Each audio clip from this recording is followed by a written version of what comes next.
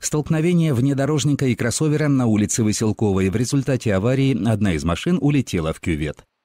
Рано утром водитель Honda CR-V направился по делам в район Второй речки, а мужчина решил проехать по улице Василковой. Миновав Рудневский мост, он приближался к светофору на Китай-городе, когда заметил, что с соседней полосы прямо перед ним начала перестраиваться хозяйка Сузуки Эскуда.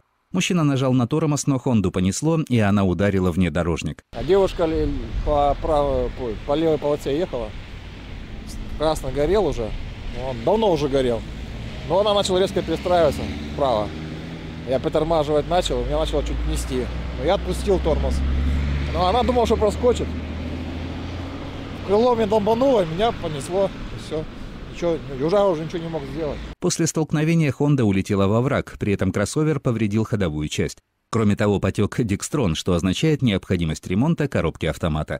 Хозяину CRV, чтобы достать свою машину из канавы, пришлось заказывать автокран. В итоге Honda покинула место происшествия на эвакуаторе. Вполне вероятно, что виновные в аварии признают хозяйку Эскуда, поскольку она начала совершать маневр, не убедившись в его безопасности.